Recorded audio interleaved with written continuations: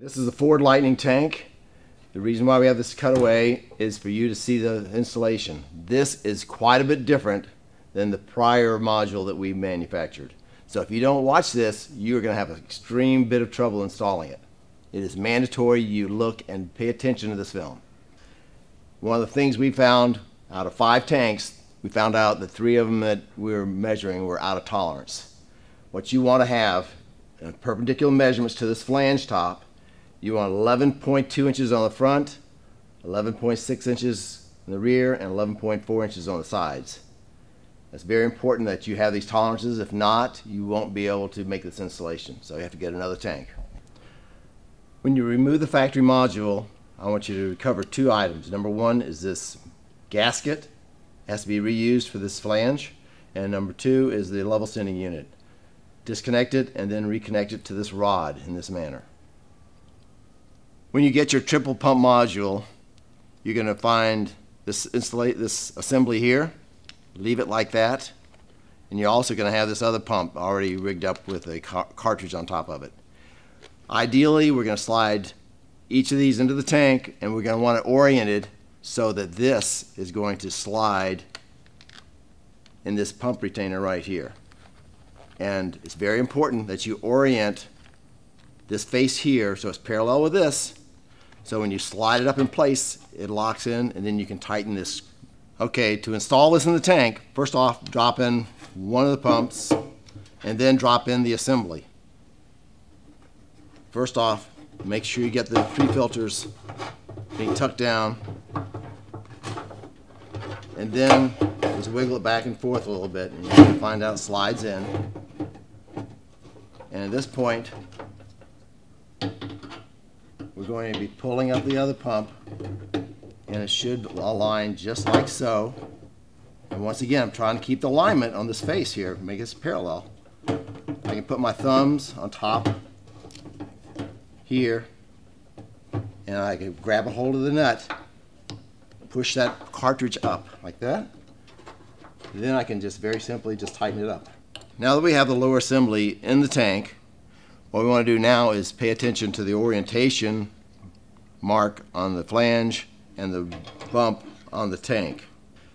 And also, I want you to pay attention to the level sending unit, how it's connected. When it's oriented, it's going to be like so, and you notice the drift pin there. It aligns as such. Now that you understand the orientation of everything, I want you to pay attention, strict attention to the six O-rings on the lower assembly, and also the O-ring on the end of the level sending unit. If not, it'll leak.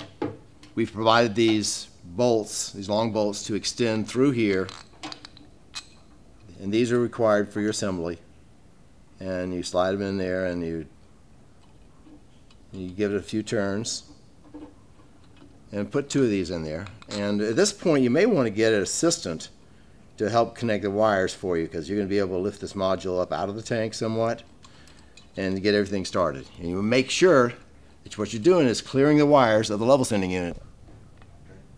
Okay, now that you have the two bolts connecting the flange and the lower assembly, lift up the lower assembly and connect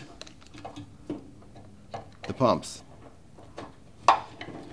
Okay, now that I have all those connected, I want you to push all the wires inside the tank and push them around the side to deconflict with the level sending unit.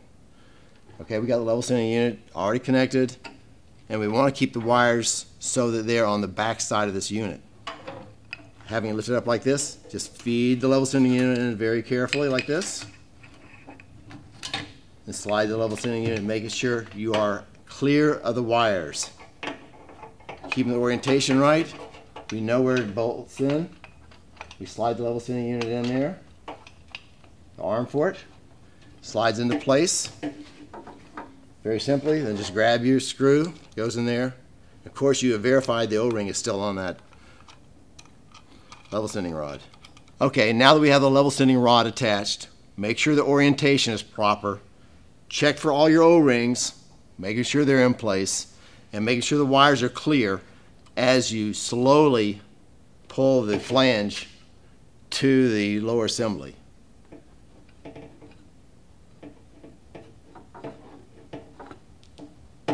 And if one's in the way, move it out of the way. Then you take the other bolts that attach the flange to the lower assembly and you go ahead and put them in place. Once again, peek underneath it, making sure there's no wires being pinched anywhere.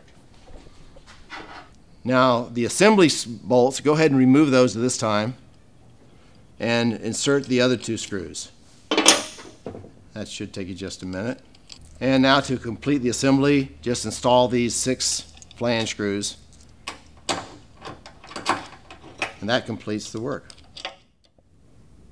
Okay, now the installation is complete. This is just a look at the level sending unit, see how it has full range of motion, up and down.